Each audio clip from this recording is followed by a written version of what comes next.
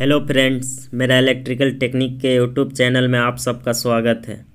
आज का वीडियो में हम जानेंगे कि किसी भी रिवर्स फॉरवर्ड मोटर में इंडिकेशन लैंप और साउंड हुटर का इरेक्शन और मोटर पैनल से कनेक्शन कैसे करते हैं। तो आज का टॉपिक है हमारा हाउ टू इरेक्शन। इरेक्शन और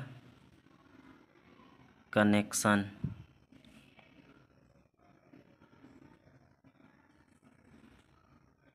लाइट इंडिकेशन लाइट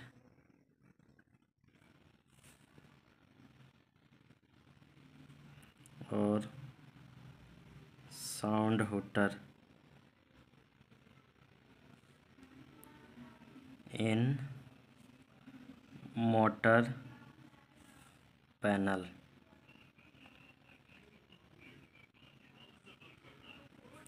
तो सबसे पहले हम एक फेस लेंगे। 110 वोल्ट। ये हमारा फेस हो गया 110 वोल्ट का, जो कि एसी। अब ये हमारा एक फॉरवर्ड कॉन्टेक्टर हो जाएगा, जो ऑलरेडी पैनल में इलेक्शन है। ये मोटर का फॉरवर्ड कॉन्टेक्टर है। इसका ले लेते हैं वन टर्मिनल, ये हो जाएगा ए टू टर्मिनल। ये फॉरवर्ड कॉन्टेक्टर है, जो पैनल में ऑलरेडी इरेक्शन है, जो मोटर के लिए है। अब यहाँ से टाइपिंग करके लेंगे दूसरा कॉन्टेक्टर को, जो हम साउंड हुटर और इंडिकेशन लैंप में लेके जाएँगे। जिसको हम मान के चलते हैं, ये भी फॉरवर्ड कॉन्टेक्टर है। उसका ए वन टर्मिनल है और ये ए टू टर्मिनल है। यहाँ से एक न्यूट्रल दे देते हैं। जिसको लेके जाएँगे आपका दूसरा रिवर्स कॉन्टेक्टर एक ले लेंगे, उसका भी फ़ेज़ ले लेते हैं 110 वोल्ट। एसी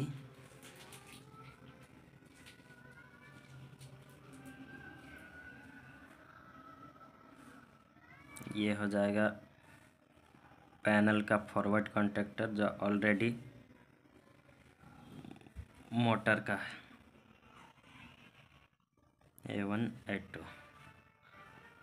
ये एक अलग से लेंगे जो ये होटर और लाइट के लिए रहेगा। ये ए वन टर्मिनल ये ए टू ये हमारा हो जाएगा रिवर्स कॉन्टेक्टर ये भी हो जाएगा रिवर्स कॉन्टेक्टर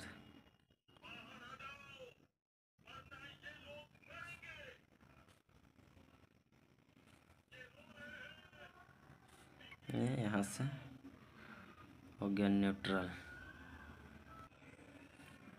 ये जो कॉन्टेक्टर है, जो हमारा ऑलरेडी पैनल में है, वो है सिक्सटी वन के वन।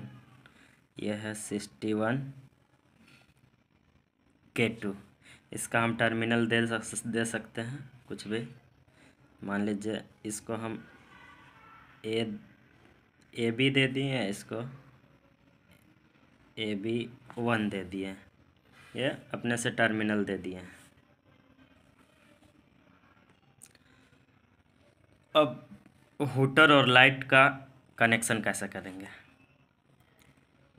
तो ये हमारा हो गया फॉरवर्ड हो गया जो मोटर का है ऑलरेडी लगा हुआ। तो एक सर्किट डायग्राम बना रहा।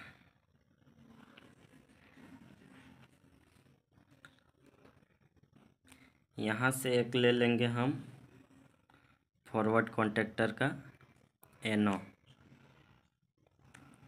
ये हो जाएगा एनो और एक ले लेंगे रिवर्स कॉन्टेक्टर का एनो ये ये फॉरवर्ड के लिए हो गया और ये रिवर्स कॉन्टेक्टर का एनो यहाँ से इसका एनो को यहाँ ला के ए वन टर्मिनल को।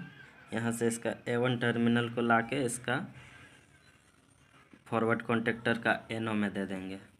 जो यहाँ से इसका है, ये हमारा फॉरवर्ड कॉन्टेक्टर है। इसका ए वन टर्मिनल यहाँ से, यहाँ दे दिए। और ये जो रिवर्स कॉन्टेक्टर है, उसका भी ए वन टर्मिनल यहाँ दे दिए। तो ये फॉरवर्ड कॉन्टेक्टर का एनो में चला गया हमारा। अब इसके एकरोस में एक हुटर दे देंगे। मान लीजिए ये हमारा हुटर है। ये हुटर है। और एक यहाँ से लाइट ले लेंगे। लाइट मान लीजिए ये हमारा लाइट है। इसको यहाँ से लाएँगे और इसको यहाँ से न्यूट्रल पॉइंट दे दिए और यहाँ से फेस को दे दिए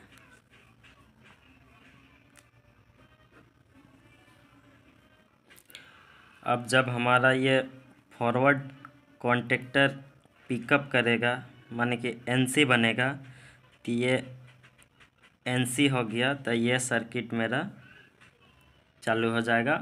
ये हुटर भी बच जाएगा और ये लाइट भी जल जाएगा। ये सर्किट क्लोज हो जाएगा। यहाँ से होते हुए यहाँ से ये क्लोज हो जाएगा। उस टाइम ये ओपन रहेगा।